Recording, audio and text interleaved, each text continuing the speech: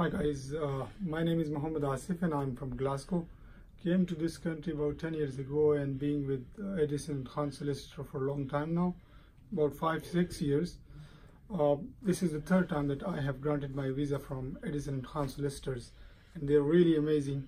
I really spent a very good time with them. Their team is very cooperative and their work is is much appreciated I, don't have words to explain it, um, but the overall time spent along with my visa is I am very satisfied with Mr. Khan Solicitors, uh, Addison and Khan Solicitors, and I will recommend it to every single person who has got some problem, some issues with their uh, with their visa.